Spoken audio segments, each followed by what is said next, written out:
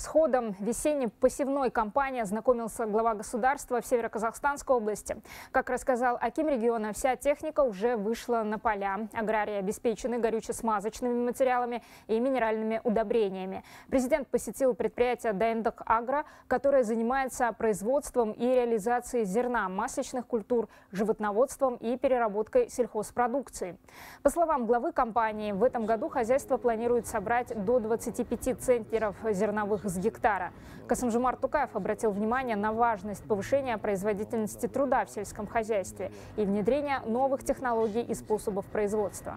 Кроме того, глава государства поручил руководству области продолжить работу в этом направлении и развивать переработку сельхозпродукции.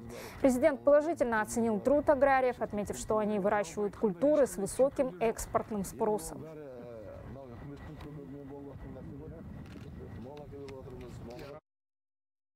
Текущем году помимо зернового клина мы реализуем проект производства картофеля в системе орошения. При помощи государственной поддержки приобрели и установили полностью орошенную систему.